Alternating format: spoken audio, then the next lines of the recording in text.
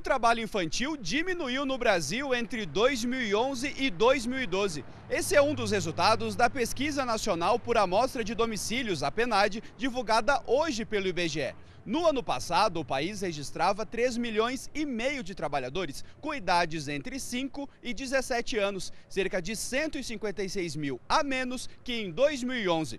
Esses jovens trabalhavam em média 27 horas e meia por semana e recebiam cerca de 512 reais por mês. A atividade agrícola foi a responsável por concentrar a maioria da mão de obra nessa faixa etária, 60,2%. Mais informações sobre a pesquisa no site do IBGE na internet. De São Paulo, Leonardo Meira.